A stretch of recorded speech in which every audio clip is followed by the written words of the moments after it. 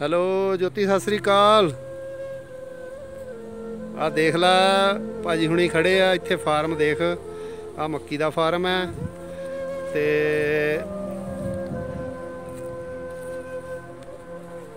ਇੱਕ ਮਿੰਟ ਇੱਕ ਮਿੰਟ।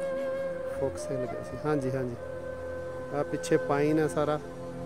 ਚੀਲ ਜਿਹਨੂੰ ਕਹਿੰਦੇ ਆ। ਜੰਬ ਜੰਬ। ਇਹ ਝੀਲ ਹੈ ਇੱਧਰ। ਤੇ ਹੁਣ ਮੈਂ ਤੁਹਾਨੂੰ ਦਿਖਾਉਣਾ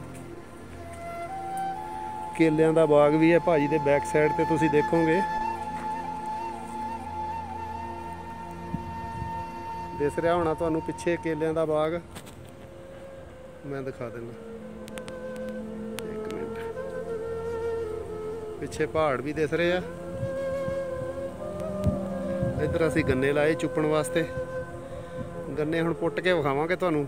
ਦੇਖਿਓ ਤੁਸੀਂ 12 12 ਫੁੱਟ ਦੇ ਤੇ ਮੋਟੇ ਮੋਟੇ ਗੰਨੇ।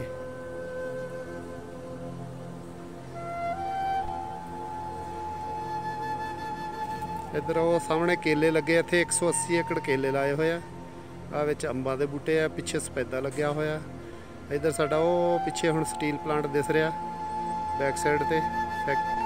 ਬਾਕੀ ਤੁਹਾਨੂੰ ਇੱਧਰ ਫੈਕਟਰੀ ਆ, ਤੁਹਾਨੂੰ ਉਹ ਵੀ ਦਿਖਾਉਂਗਾ ਮੈਂ। ਭਾਜੀ ਥੋੜੇ ਜਿਹਾ ਇੱਧਰ ਨੂੰ ਆ ਜਾਓ। ਉਰੇ ਨੂੰ।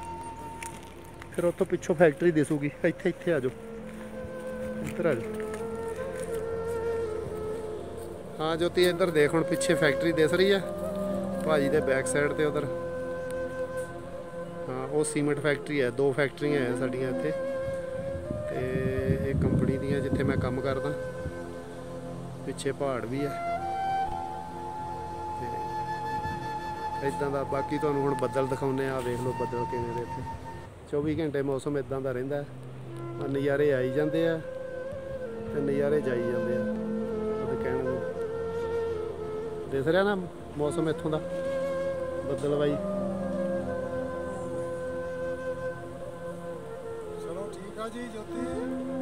ਹਾਂ ਠੀਕ ਆ ਹੁਣ ਭਾਜੀ ਕੁਝ ਕਹਿਣ ਲੱਗਿਆ ਹਾਂ ਦੇਖ ਲਓ ਕੁਛ ਆ ਕਿੱਦਾਂ ਪਹਾੜ ਆ ਖੇਤ ਆ ਇਹ ਆ ਉਹ ਆ ਤੁਸੀਂ ਕਹਿੰਦੇ ਹੁੰਦੇ ਨਾ ਜਾ ਨਾ ਜਾ।